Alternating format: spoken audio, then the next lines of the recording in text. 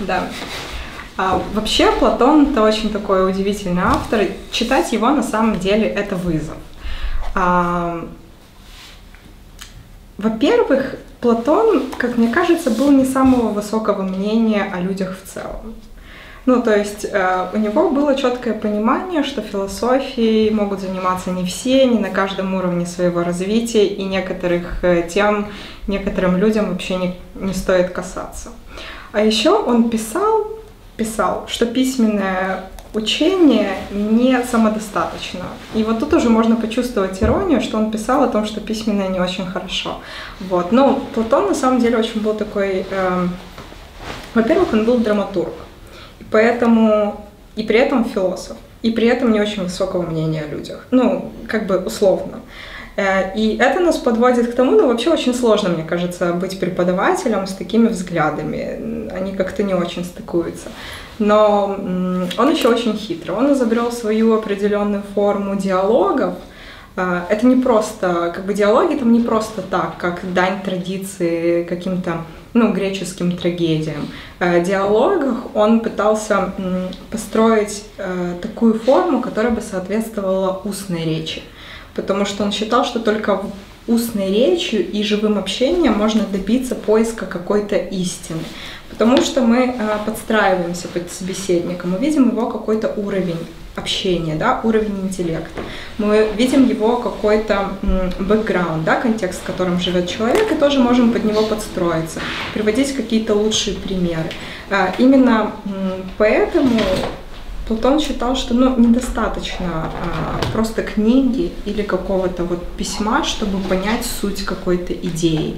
А, и это м, очень сильно а, согласуется с проектом Кова, да, зачем мы читаем книги с экспертом, ведь мы можем любую книгу взять прочитать самим. Но э, те, кто исследователи Платона, они выделяют три очень важных аспекта, что э, философ должен подходить тщательно к выбору собеседника и э, открывать только те знания, которые доступны на этом уровне человека. А книга, к сожалению, не может выбрать нас или сказать, э, или там предоставить какой-то тест и сказать, нет, не читайте меня. Вот. А, во-вторых, а, живой человек может побороться с нашими какими-то предустановками и убеждениями. Книга тоже не может. То есть, если мы заходим в книгу с какими-то уже сформированными понятиями и убеждениями, она тоже нам ничего не может а, противопоставить. Но и в-третьих, книга себя защитить тоже не может. А, не может отстоять свое мнение, привести какие-то более веские аргументы. Поэтому, мне кажется, классно было бы почитать Платона с Платоном, но у нас э, нет такой возможности. Вот, поэтому мы читаем в книге, э, в Кова книги с экспертом. Они вот как раз-таки э, выполняют все эти три роли, пытаться подстроиться под нас и как-то предоставить эту информацию, завязать это с нашим с нашим контекстом, с нашим опытом. Вообще Платона читать достаточно сложно. Это такая игра, в которой есть определенные правила. Во-первых, нужно настроиться и понять, что эм, мир может поделиться до чтения Платона и после. Нужно быть к этому готовым, что придется отказаться или пересмотреть какие-то свои убеждения. Там очень много работы в каждом диалоге. Вот я потом еще расскажу, почему вообще это перестраивается и оно работает. Еще чем интересны диалоги, они не могут э, оставить человека безучастным к ним. Если ты читаешь диалог, то как бы ты ни был к нему настроен, скептически, разделяешь ты мнение Платона, не разделяешь, ты все равно вливаешься в этот диалог. Ты читаешь, и потом в какой-то момент уже начинаешь либо спорить с Сократом где-то внутри, либо начинаешь рефлексировать, а как бы я подумал, а действительно, откуда я это знаю или не знаю, и уходишь куда-то вглубь себя. Вот. И это второе, к чему нужно быть готовым, что диалоги придется читать несколько раз, и э, их невозможно прочитать линейно. То есть вот как э, ты сел и читаешь текст, нет, ты будешь уходить куда-то в себя, в свои мысли, э, отходить немного в сторону. Э, вообще Платон хорош тем, а, что он задает такую площадку, от которой появляются новые вопросы. А, и хочется дальше копать. Откуда, окей, хорошо, у нас там есть какие-то знания, есть какая-то а, эпистемология, да, и хочется копнуть туда. Э, он поднимает вопросы реальности, такой, ой, а что думают другие люди? И это очень здорово. Ты читаешь его и вдохновляешься какими-то новыми идеями. Немногие, на самом деле, авторы могут так а, вдохновить и заставить тебя участвовать. А еще э, Томас Слезак, это такой очень известный исследователь Платона, он пишет, что чтение — это интеллектуальное удовольствие, но мне кажется, он чуть-чуть лукавит, это мазохистское интеллектуальное удовольствие, потому что ты читаешь Платона, и ты все время в таком а, напряжении находишься. Это не очень приятно, потому что каждый раз, когда Сократ начинает вот так вот э, пытать э, собеседника какими-то своими вопросами, а, он так или иначе попадает в тебя самого. И ты сидишь, тебе как-то неудобно от того, что ты вот чувствуешь себя эм, а, немного не того уровня. Ты начинаешь видеть, где у тебя пробелы в знаниях, что то, что ты думал, это на самом деле тем не является. И вот из последних диалогов мы читали, там было очень известное выражение Протагора, что человек — мера всех вещей. И вот честно, после того, как я прочитала обоснование э, Сократа, почему это не так, мне было очень стыдно, когда я его употребляла. И я прям думаю, боже, надо найти всех этих людей и извиниться, я была не права.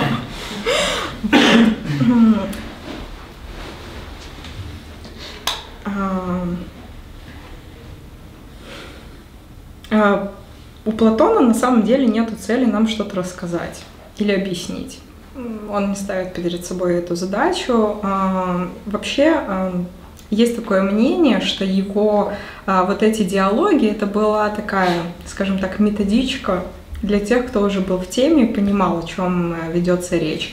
Нам же досталось только вот что досталось, и мы вынуждены сами копать и узнавать, а что же там было зашифровано или не было зашифровано, а что он имел в виду.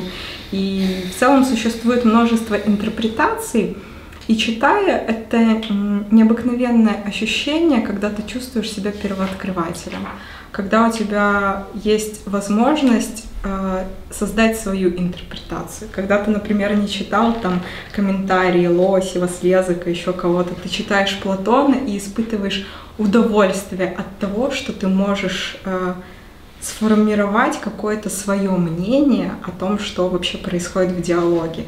Э, это очень редкое ощущение. Мне кажется, мало есть книг, которые можно почитать и, и сделать самому какой-то вывод, отличный от автора или от каких-то других людей. Э, и этим они прекрасны. Э, вообще очень задается хорошо тема рефлексии и вот его некоторые диалоги — это образец, как вести сам диалог с собой и с другими людьми. А, Платон нам показывает там вопросы, откуда моя мысль, а моя ли эта мысль, а, а истина ли она, а могу ли я это обосновать. И вот эти вот все вопросы, они нас, даже если не вдаваться в смысл, и не понять, что на самом деле было зашифровано, но вот эта вся оболочка, в которой оно преподносится, она все-таки очень сильно развивает ум и заставляет работать над собой. Мне кажется, если читать вдумчиво Платона, можно не докопаться до какой-то истины, но, по крайней мере, обрести навык, как это делать, как работать с собой. И, наверное, именно поэтому диалоги Платона не могут оставить никого каким-то равнодушным, сказать, ну, прочитал и что. Вот, нет, такого не получается. Если ты читал Платона, у тебя так или иначе произойдут какие-то изменения. Продвигаясь от каких-то простых диалогов к более сложным, и растут э, сложность рассуждений, сложность поднимаемых тем, поэтому если даже э, э, бояться, то можно начать с простых диалогов. Вот мы начинали свой путь с апологии Сократа и Алкивиада 1, и вот сравнивая, например, с более поздними диалогами, понимаешь, что да, с этих диалогов можно начать каждому и понять вообще, кто такой Платон, как он строит свою философию, вообще с чего началась философия, с каких вопросов. Мне кажется, это очень такие, ну, главные вещи, которые можно сказать о Платоне. Максим. Да, по поводу, я тогда продолжу просто, я на самом деле не, не думал, что я так вот сразу достоин перенять и продолжить. Э, по поводу того, что Платон ничего не хотел никому рассказать и как бы находился в башне слоновой кости, да, я ну, там, занимался как бы вот люди там, ладно, а я отдельно. Я так не думаю, потому что если сделать отсылку к государству, да, он рассматривает три категории людей, да, это как бы, обычный люд, да, затем стражи и совершенные стражи, либо философы. И те, которые трансформируются из стражей философов, они как бы уже не хотят заниматься делами государства, ну, им это уже не интересно. То есть зачем им там, обогащаться, зачем им как бы, вот, крутиться в этом всем, и их уже, они уже мыслят другими категориями. Но Платон говорит о том, что э, все же они должны как бы вернуть долги, ну, внести свою долю в э, то развитие, как бы, отдать, да, потому что они же были развиты тоже в этом государстве. Поэтому я думаю, что Платон на самом деле еще отслеживал эту взаимосвязь и не находился в какой-то там изоляции. Да? Но опять же, чтобы точно знать, это нужно у Платона спросить, да? мы можем только анализировать его тексты.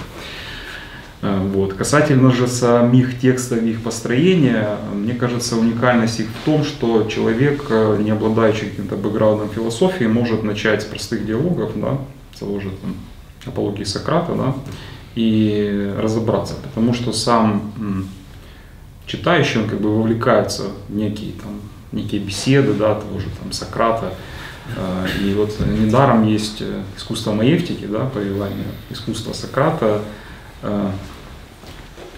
помочь человеку родить плод знания, да, и при этом рассмотреть, не призрак ли это, как мы в тет да, вот, упоминается. То есть это очень важный такой момент. И сам диалог устроен так, что э, вне зависимости от твоей подготовки ты можешь увидеть разные уровни. То есть либо базовый какой-то, да, там, либо уже там дальше, либо еще, еще, еще. И в конечном итоге э, все диалоги, они представляют некую такую сложную структуру, где каждый персонаж, он не спроста выбран и поставлен на свое место, и диалог идет там, о той или иной тематике непосредственно с каким-то конкретным персонажем, и, и они между собой все связаны. То есть это такой метауровень какой-то дополнительный, да, антологический. Что тоже очень интересно, и я думаю, нам всем еще предстоит это изучать и погружаться и открывать что-то новое. А вот, касательно инсайтов, ну, их на самом деле множество, да, и Э, есть такая, не знаю, кто, кто автор данной фразы, что вся современная философия – это заметки на полях Платона. Уайтхед. Расширенный комментарий. Расширенный комментарий, да? Уайтхед. Спасибо, да. И ну, те же инсайты случаются у меня. Допустим, один из э, первых знакомств через э, персону Сократа да, в диалогах о том, как допустим, он э, в Дельфах у входа Дельфийский оракул увидел там надпись «Человек, познай самого себя», да, постоял, поразмышлял над этим и заходить не стал. То есть, как бы, он пошел обратно. Его спрашивает Сократ, а что ты? Да я все понял. Как бы нормально. То есть у него есть э, как бы такая э, свойство общения с неким даймоном, с неким внутренним голосом. Да? Человек познай самого себя или же есть расширенная версия «Человек, познай самого себя, и ты познаешь Вселенную и богов». Это кто-то из, э, не помню, автора. Это в Египте было написано э, та, та же самая фраза, что э, познай э, себя, а когда заходишь внутрь в храма, там было э, продолжение, и ты познаешь Бога. Ну, наверняка есть интерпретации разные, но это был некто из Хилон, Хилон из Спарты, то есть это как расширенная версия. И если же, ну окей, вот эта вот фраза, да, которую потом упомянул, и берем, например, ну того же Декарта, понятно, у него целые медитации направлены на то, чтобы познать самого себя, да, через э, вот такую некую внутреннюю работу, из, э, ну я не буду сейчас о Декарте, хотя, хотя хочется. И в конечном итоге Декарт выходит на некое такое состояние как экзиста, да, как некий феноменальный источник, который проецирует векторы, такие как там, сомнения, воображение, а, желание там, и прочее, вот, которая, за которой можно ухватиться.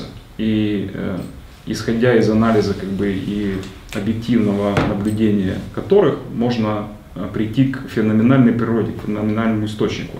То есть, что делает Декарт? Он, можно сказать, посмотрел, познай самого себя и начал копать в этом направлении. Да? Взять того же Лейбница. Есть философские этюды, 9, 9 серия. Кто не видел, советую посмотреть. Там как раз речь идет о Лейбнице, вот наш уважаемый эксперт Хаматов. И то есть... вас послушать я уже серьезно наследил, понимаете? Там я был. За что спасибо.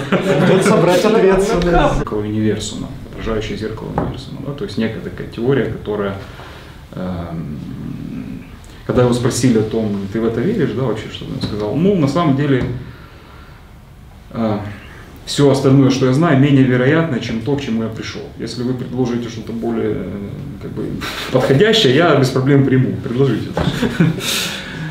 Вот. Затем взять, э, ну то есть мы Платона можем отследить во всех таких мировых учениях и традициях вот эти вот основные базисы, основные концепты. Для меня это являются такие как бы некими такими инсайтами, да, которые позволяют мне взглянуть на Платона, на его учение – либо даже, возможно, не столь на тот первоисточник, скорее всего, первоисточник того, скажем, вот этих всех интерпретаций, потому что Платон в моем представлении это тоже некая интерпретация да, вот мирового зеркала универсума, либо там мирового огня, если мы говорим о стоиках, да, либо вот природе целого, как Марк Аврелий упоминал об этом.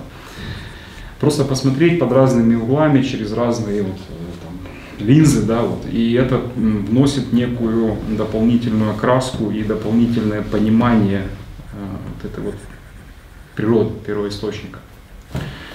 Вот. Я, наверное, очень много говорю. Надо э, передавать слово далее, да, и еще такой основной из э, как интересующих меня инсайтов, ну, это всем известен, известный миф о пещере Платона, да, что люди, привязанные, прикутые по рукам и ногам сидят уставивший стену, на которой там тени, да, а источник света находится за спиной, и это все проецирует. Для меня был инсайт, с, э, на самом деле, с, с неевклидовой геометрией, то есть это если геометрия Лобачевского, которая уже оперирует четырехмерным измерением, да, либо же Жеральда Мора, то есть есть некие как бы, расширения э, геометрии да, евклидовой.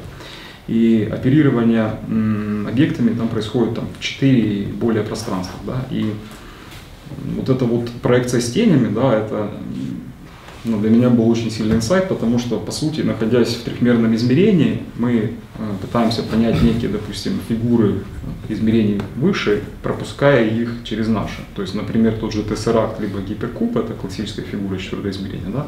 это что-то такое непонятно выворачивающееся наизнанку, да? в нашем трехмерном измерении. То есть, по сути, мы вот эти вот, которые сидят, смотрят на стену с тенями, да, и для меня инсайт был в том, что мир, скорее всего, он, э,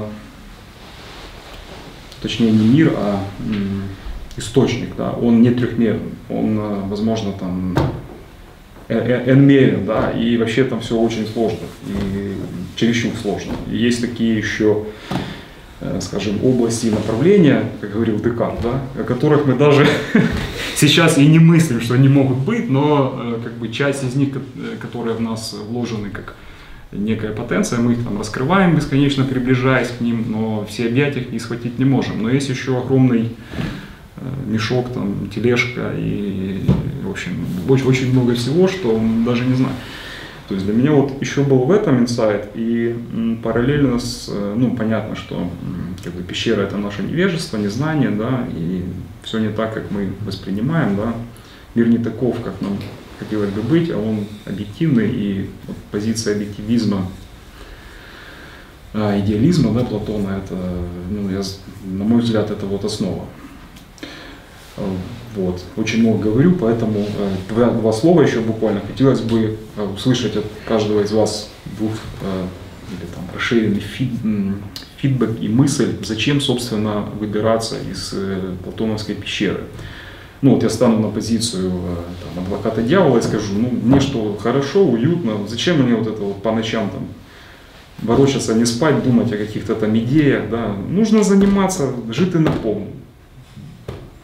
Получать от жизни все, ну, как бы, ну, вот, какие ваши, ну, скажем, мысли по этому поводу, не хотелось бы узнать. 8 до 13 э, размерность э, ну, потенциально общей реальности. То есть у нас есть сколько-нибудь обозримое понятие сложности мира. И это, конечно, обнадеживает. Как говорил один профессор, э, с которым я там общался уже и, ну, за коларами, а на самом деле мы ничего не знаем. А, это, это главный вывод, который... Сократ, он наслушался. Да. Вот, осталось понять это содержательно, внутренне почувствовать вот эту идею, что мы ничего не знаем. А, у меня есть ощущение а, того, что выход в беседу о сложных темах создает ощущение значимости, важности, которое в других условиях, когда легко, сыто, тепло, понятно, удобно, известно, в этих условиях вот этого важного ощущения смысла не рождается. Поэтому, собственно, этим нужно заниматься, чтобы находить смысл. По крайней мере, я его начал находить. Я нащупал, что он где-то тут. Смысл ради смысла, как наука ради науки, либо для чего? Вот. Нет, а, ощущение смысла собственного существования. По Декарту. Эгоиста. Ну вот у меня пару идей об инсайтах родилось, я бы описал это вот в несколько пунктов. А, для меня было не очевидно фрагментарность и спонтанность нашего мышления, что э, оно очень состоит из разных лоскутков, которые друг с другом не очень связаны. Они спонтанно могут э, влиять на то, что является нашим решением, нашим мышлением. Э, то, что эти фрагменты э, нашего сознания появляются из внешних источников, соответственно, мы попадаем в позицию зависимости от чего-то внешнего. Ну, если это не осмысливать, то есть буквально какие-то спонтанные мысли, они появляются, грубо говоря, не по, вашей, не по нашей воле, соответственно, мы зависимы от чего-то извне. И третий пункт, э, такая многоходовочка, идея интерперсональности знания, э, которая родилась э, после метафоры про зрительную аналогию, что мы э, как глаз может увидеть в отражении другого человека на сетчатке отражение себя. И вот это отражение, оно если его возвести в абсолют, даст нам зеркало. То есть зеркало является идеальным отражающим предметом, и в зеркале мы увидим свой глаз, ну, условно говоря, если представить душу зрения. И, соответственно, когда а, мы познаем, общаясь с другим человеком, в его душе, как в глазу, мы можем формировать знания. И идеальная Э, способность для познания себя и мира э, будет по аналогии с зеркалом представляться некоторым божественным, и, собственно, общаясь с другими людьми, мы можем э, развивать наши знания. И в свете того, что идеи познаются интеллектуально, знание об идеях нуждается в том, чтобы мы обсуждали это, уточняли глубже разбирались, э, это приводит к выводу о том, что нам нужно обсуждать, э, обсуждать вот э, важные, сложные, зачастую непонятные темы. Два слова, если можно добавить на твой ну, комментарий, да? Вот, на мой взгляд, Платон еще затрагивает важнейшие аспекты и вопросы такие, как что такое справедливость, да, что такое там, благо, да, что такое знание достоверно, что такое там, мнение. Да. То есть это то, что мы вроде бы как знаем, да, и ну, это же понятно, там, с детства это слышим, Но на самом деле, на самом деле все не так. И вот эта вот попытка разобраться и приблизиться к истинному пониманию данных понятий эм, трансформирует человека. То есть она его выводит на некий новый качественный уровень и понимания, и восприятия, и внутренних каких-то опор, внутренней, внутренней силы. Поэтому вот эти вот вопросы, на мой взгляд, ключевые. И спасибо Платону за это. Мы возвращаемся к вопросу, зачем выходить из пещеры? У нас же общение, у нас, у нас э, открытые, как бы, ну, если хотите. Мне бы просто интересно да, было услышать ваши мнения. У меня есть какие-то там взгляды на это, хотелось бы услышать ваши. Ну, то есть я вот стал на позицию адвоката дьявола, говорю, вот не хочу, вот мне хорошо, удобно, я не хочу стресса. А есть такие люди. И зачем, да, зачем вообще это все, какой от этого профит? Ну, вот, что, что мне это даст? И смысл? Вот спорту, да, буду хорошо там тренироваться, правильно питаться, там, барбершопе бороду брить и все там стричь. И как бы жизнь удалась. Вот какой там Платон, какие идеи, что вы говорите? Ну хорошо, а если мы представим, что прямо вот на этот вот момент человек находится в кризисе, то, там, то есть его барбершоп и так далее уже начинает, он чувствует, что его начинает уже это не устраивать.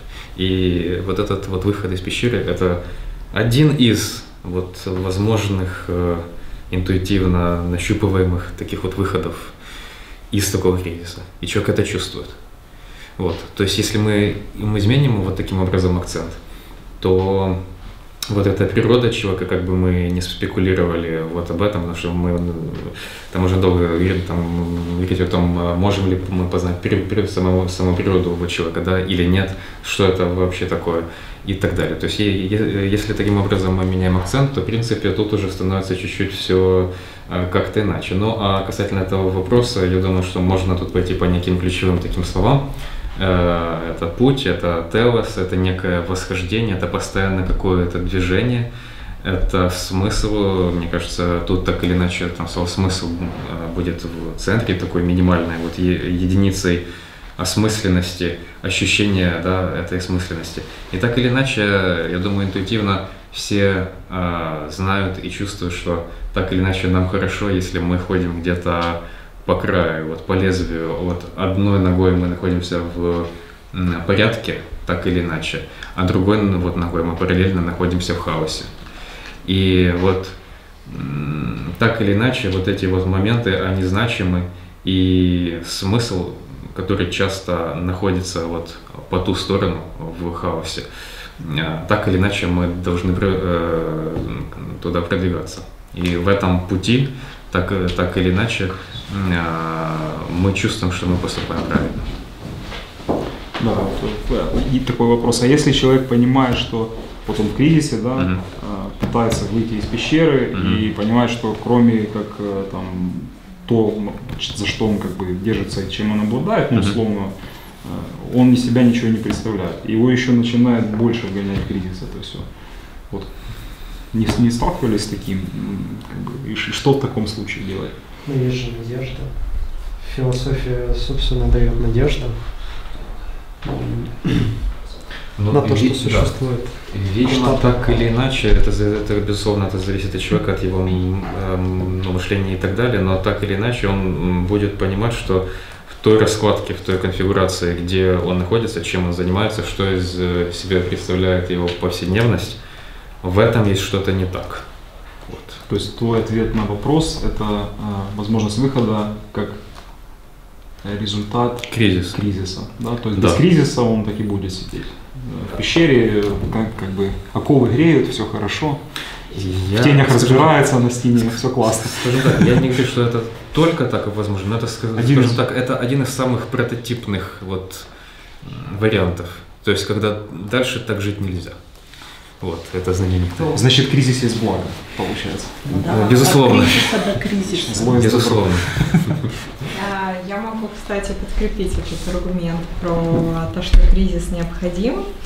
А, есть такой а, психолог, конструктивист а, Жан Пиаже.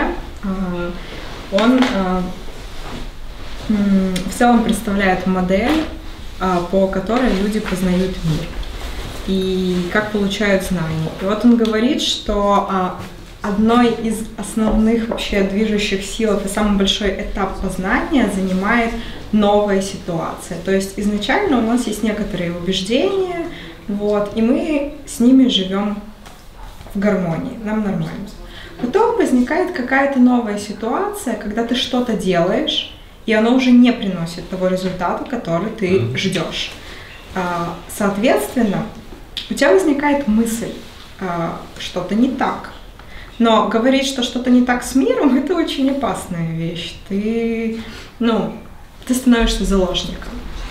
Значит, что-то не так с тобой. Значит, твоя картина мира не очень отвечает тому, что сейчас происходит. И вот эта новая ситуация, она тебя э, сподвигает принять какую-то новую гипотезу и пожить немножко с ней. Но и в целом весь этот процесс он представляет как такой цикл а, принять, э, выдвижение гипотезы, принятие гипотезы, новая ситуация, опровержение, выдвижение новой и так по кругу. Думаю, тут хорошо сделать отсылку к Платону государства, да, где он рассматривает человека как некий прообраз государства. Да, и вот личностные кризисы мы можем рассматривать как персональный кризис да, и кризис государств. Да, и на мой взгляд, вот почему так идет активно у нас возрождение философии, да, ну, не сто процентов, но вероятно это связано с кризисами, которые переживает наше государство, и люди, ну как бы, вот, тело, да, тело государства это ощущают и пытаются найти выход. Да. То есть идет вот из, через переживание кризиса происходит выход из пещеры, uh-huh. как, как вариант такой. Как вам такая версия? Вопрос. Чи враховуєте ви, що в печері можуть перебувати і філософи? Тобто, що у кожного своя печера, що сама по собі філософія, наприклад, не є виходом з печери. Е, тому що, ну, як каже один мій дуже мудрий знайомий, він каже, що ну, з буддийської точки зору досягти просвітлення найважче викладачу філософії. Це людина, яка перебуває в найсильніших е, передсудах, тобто її прив'язаності тим сильніші, що вони е, абсолютно абсолютно не усвідомлювані, тому що той, хто є глашатаєм істини, він в значно гіршому становищі, ніж всі інші. Якщо ви повернетеся до печери Платона, е, зверніть увагу. Е, ну, згадайте там текст, е, хто виходить? Що значить вийти з печери взагалі? От пережити кризу і вийти з печери це одне і те ж чи ні? Е, давайте от спробуємо до якихось первинних речей звернутися, раз раз вже за це заговорили. Ну от що таке вихід з печери? В чому він власне полягає? В тому, що я почав читати філософську книжку. Це вихід з печери? Чи, чи, чи може спосіб залишитись в печері? Що таке печера? Можна відповідати? Це очевидно, що такий простий шлях. Так, так, так. На мій погляд, криза це поштовх поштовх до того, що треба щось змінювати. Якщо ти відчуваєш якийсь біль внутрішній, да, то це тобі природа цілого, да, як Марк Аврелій каже, під, підказує, що щось ти робиш е, в цьому житті не так. Тобі потрібно змінити свою поведінку, передивитися якісь свої погляди. А вже як людина буде діяти в цій ситуації, це е, ну не факт, що вона вийде з печери. Можливо, вона собі зробить якусь е, окрему там віртуальну печеру, в неї перебереться, купить собі там якісь VR, да, буде там будувати якісь mm-hmm. будинки там, да, і там зробить з однієї печери, перебіжить в іншу. Да. І також само читати діалоги Платона, це м, в ідеалі потрібно, ну от сьогодні вранці була ця тема да, затронута, що якщо ти е, просто читаєш, це ну, і розмовляєш, це одне. А якщо ти живеш, так як там написано, оце до стародавніх греків вважало, що ну, ти дійсно займаєшся філософією, а не просто прочитав, е, розповів і передав передав інформацію. Тобто ти не носій інформації, не флешка, а ти та людина, яка е, просто ну, надихається цими творами і е, змінює своє життя таким чином, щоб воно було накладалось е, на ту тематику і на ті речі, які описані ну, в філософських текстах. Е, Чи є в печері філософи? Ну, слава Богу, є, бо якщо якби їх не було, то так, всі б ми сиділи в печері і ніколи, мабуть, не вибрались. Е, Але філософи стикаються з такою штукою, як е, двойна сліпота, і, мабуть, Платон, да, двойна сліпота, коли е, той, хто змог вибратись і побачив світло, він ну, зрозумів, що світ це не тіні, і що насправді все багато цікавіше, і він повертається, щоб е, людям розповісти це. І коли ти е, із світла переходиш в темряву, то ти нічого не бачиш. Твій зір він ще не налаштувався на темряву. Да? Тому пірати, наприклад, от вони пов'язку на одне око робили, не тому, що в них ока не було, а тому що вони е, пригали, стрибали в трюм, да, і там темно, і вони просто знімали, щоб було видно, щоб не витрачати час на перестройку зіру, щоб зір. Ну, да. І е, коли такий філософ починає розповідати, там дуже так е, заряджено, да, що там, давайте то, то, люди його не сприймають. В кращому випадку вони просто посміються над ним, а в худшому скажуть, що ти тут нам розповідаєш, ти, ти вон, бачиш, ми експерти по тінях, так, ми от можемо тут все і знаємо, а ти щось там про якісь світло розповідаєш, ми тебе не будемо слухати. Тому, е, на мій погляд, майстерство філософа, вона ще е, включає те, що треба вміти е, подати інформацію таким чином, щоб люди її сприйняли. І запустилась в них е, робота на от якраз вихід з цієї печери, так поступовий. Ну, там Платон дуже цікаво це все розписує. Не, не, не, одразу на світло, а там поступово, поступово. І це така, от, е, от Сократ, він один із тих, хто побачив світло і з помощ, е, завдяки своїй там, маєвтості да, доводить людей потрохи. Також є такі, е, як хранителі піщери, да, ті, які побачили світло і зрозуміли, що можна маніпулювати людьми. Да, от, Гуманіст. Да, от вони, не, вони не дуже заінтересовані в тому, щоб люди свої окови залишали і виходили. Да. І печера це ж так дуже символічно, і для мене такий був ще міні, міні-інсайт. Е, Ну, от квартира, да, висить плазма ну, на стіні. Да, ну, і ми бачимо тіні якихось там ігрищ да, політичних або якось фор- формування, формування нашої думки. Да, тобто нам в голову просто проникають да, там, через е, там, серіали, новини, там, через сайти, ця вся от штука.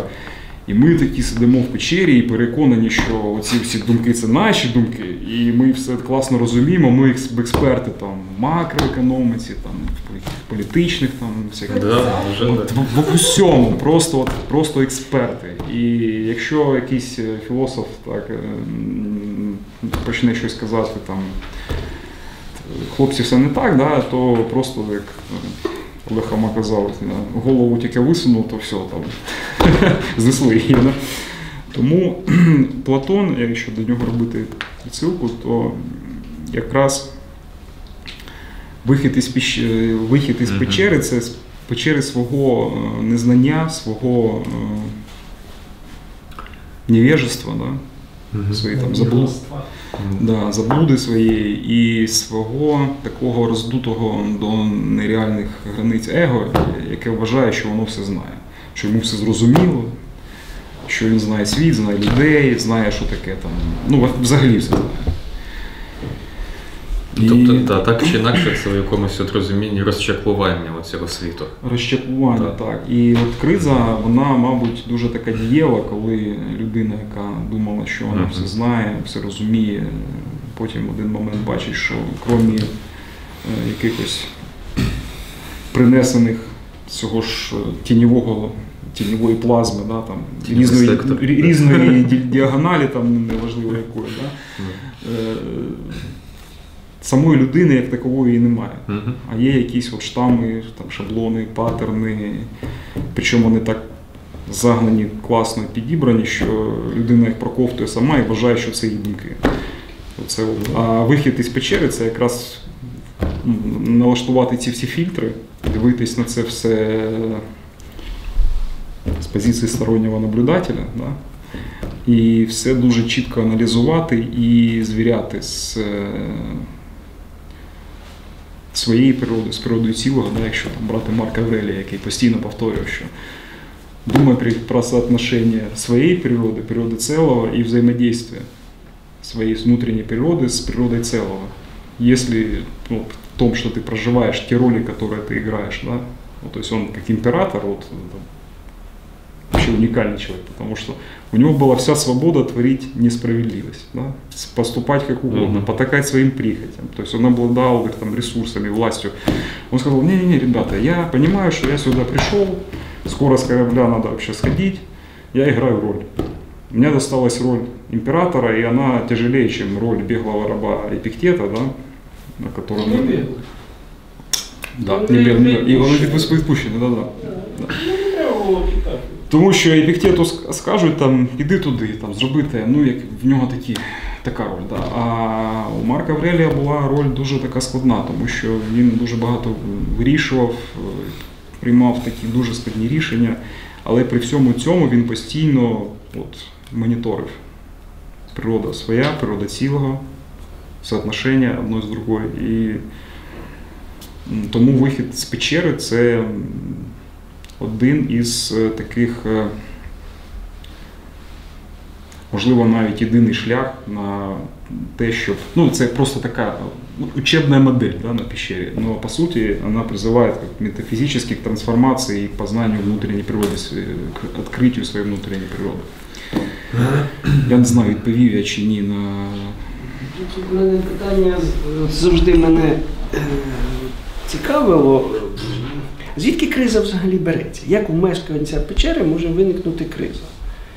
Е, По ідеї, не повинна. Криза вже симптом виходу. Е, Тобто, якщо щось не так, це вже шлях. А звідки він починається? От з чого тих, хто прикутий міцно, там вони кіно у них є, все у них є. Звідки в нього ця криза візьметься? Платон пояснює на вашу думку? Если, если как пояснил Платон, то я здесь... Ні, ну не Платон. Можно фразу с Платона сказать, и ты, ты кинуть мячик э, по Сократу. Ну, Есть только одно благо знание и только одно зло невежество. То есть, на мой взгляд, что люди, которые э, входят в кризу, так, вони, э, ну, там, там находятся из своего как бы, невежества, от непонимания собственной природы и предназначения. И потому они, м, соб- собственно, сами себя вгоняют в такую ситуацию. А стресс в данном случае является своего рода таким лекарством, да, который... Так а як він виникає все ж таки? Стресс вынекает? Ну, Да. от невежества людей, по сути. То есть из-за А того, вы- что они ну- себя вгоняют в такую ситуацию. Але- Коли ми дивимося на тіні, ми ж е, це інформаційний процес. Ми е, освічуємося Да. по-своєму, хоч і тінню.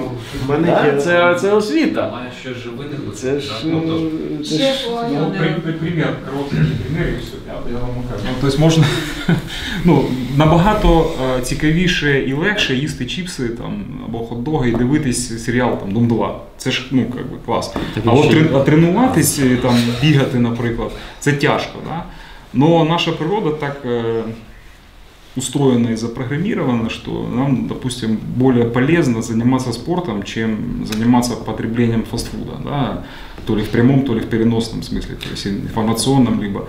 И человек, который как бы отказывается от своего предназначения, э, начинает потреблять фастфуд, как э, с Макдональдса, так и там с ТВ, да, то есть фас- фастфуд ментальный, и, и таким образом он загоняет себя в то состояние, которым, которому его природа не предназначила. Природа запускає зворотній механізм, таким, да, який вганяє в кризу людину. Хорошо, так тогда вот я здесь... Платону Да. більшість якраз природі не слідує. Більшість Лучше якраз всегда взагалі їхній, їхній тип душі такий, що вони не схильні. Тобто там серйозно все. Він державу будує таким чином, що у всіх будуть різні розуміння щастя. І переважна більшість якраз не треба очікувати, що вони кудись вийдуть. Їм, їм просто треба облаштувати печеру. От на рівні е, держави Платон не збирається всіх кудись виводити. Він збирається ціле е, ну, врятувати, а вивести з печери тих людей він просто е, змінює форми контролю над ними. Ну, Может, я не столь хорош в государстве, но, но по Платону это гла- главная задача воспитания граждан, правильно? И Поправьте, если я ошибаюсь. так. И он пытается выстроить идеальное Він государство. прожив довге життя. Розумієте? І коли йдеться там про якісь е, відносно ранні чи середні діалоги, це одне. Коли ми беремо пізні діалоги Платона, це вже дещо інше. М, е, Ну, якщо ми там не будемо закони брати, а от просто візьмемо республіку, ну, політію, да? то там виходить так, що в принципі от у нас душі не рівні, бо в них домінує е, різне начало. І от ті, у кого душа пожадлива, у кого душа е, рослинна, як він каже, вегетативна, е, відповідно, ну, це ніякий вихід нікуди в принципі неможливий. Він для них залишає е, шанс, ну не, не шанс, а просто спеціально так все влаштовує, щоб вони могли цю свою вегетативну налаштованість повністю реалізувати і, не дай Бог, їх кудись тягнути. Вони в нього там позбавлені політичних прав, які їм насправді і не потрібні. І вони мають маленькі економічні задоволення, маленькі там е, якісь е, матеріальні зиски. І шляхом тотального взаємного контролю через е, це діло і зовнішнього контролю вони тримаються саме в печері. Тобто, це ну, він там не говорить, але отой стан більшості суспільства ідеального, це фактично стан е, штучно створеної, спеціально створеної печери такої установки. Дуже мало людей з неї е, якби, виходить по Платону. Тобто він дуже змінюється з роками. Дуже змінюється. Разочаровался М, Ну, влада права була, він особливо ніколи не був в захваті від е, людства. Тобто сказати, що Платон такий був е, цей великий гуманіст і е, демократ, скажімо, він якраз навпаки, він був е, аристократичних так би, і походження, і політичних поглядів. І на те, що робилось в демократичних Афінах, дивився ну, доволі так. Після Сократа взагалі. Як ви розумієте, після того, що вони там зробили внаслідок суто політичної кон'юнктури, ну, він втратив взагалі всяку довіру, але ну, не зразу це. Якщо печера Платона, ну, вона в тій самій державі, да? вона в тій самій державі формулюється, в тому, ну, я маю на увазі в політії. В тій самій політії формулюється міф про печеру, який говорить про те, що треба виводити кудись на світло. А коли устрій цієї держави встановлюється, виходить так, що декого, не дай Бог, кудись вивести. Більше того, створюється така е, ситуація, коли вони займаються там хоровим співом, колективними ігрищами якимись, вони постійно на виду один в одного. Е, Вони не залишаються наодинці з думками взагалі ніколи. У них там криза не виникає якраз ніяка. В тому то й річ, щоб вони не- почали ні задумуватись, нічого. Тобто Платон непростий. От, Он же ж призываешь, ну, его как бы, ну, насколько я понял, да, опять же, то есть поправляйте, да, да, то есть э, быс- выстроить э, идеальное государство не для того, чтобы там ВВП хорошо, хорошее было, да, а, для, а для того, чтобы сама система подразумевала собой воспитание граждан.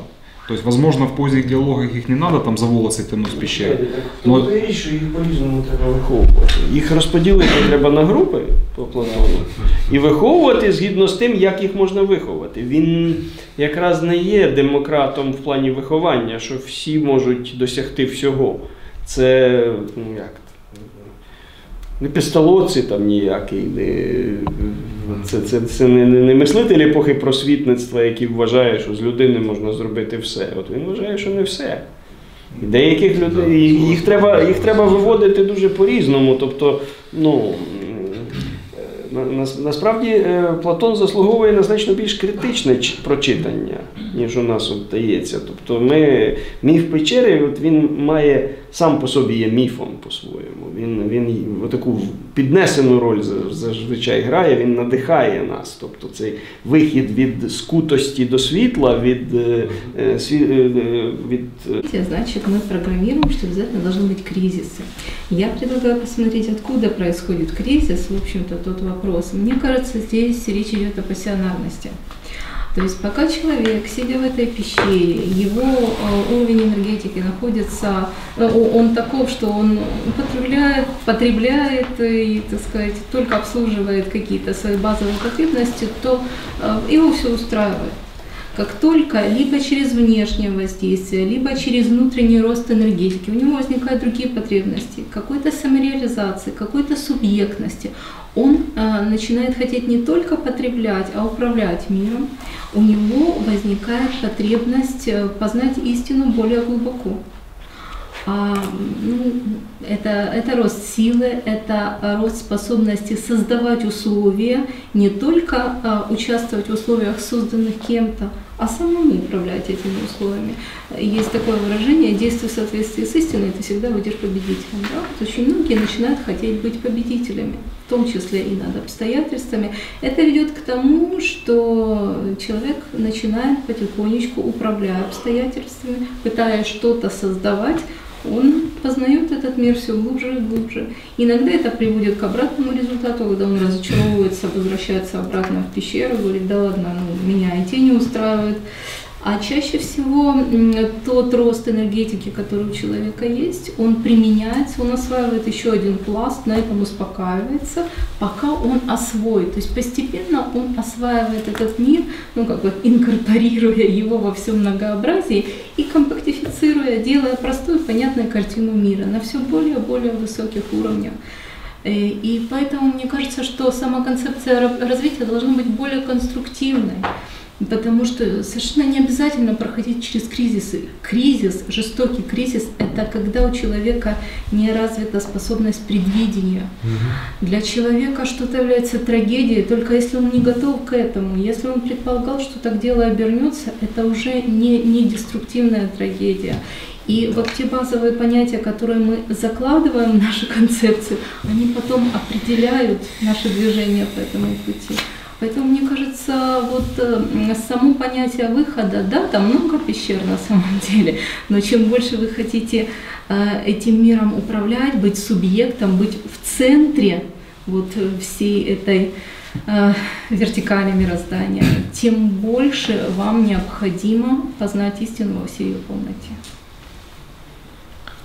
Просто познавая істину, можна залізти ще одну пещеру. Тоді критерії виходить, истины. тоді виходить, що нам треба чітко визначити, хто є адресатом е, платонівських діалогів, до якої людини він, власне, звертається з цим закликом вийти.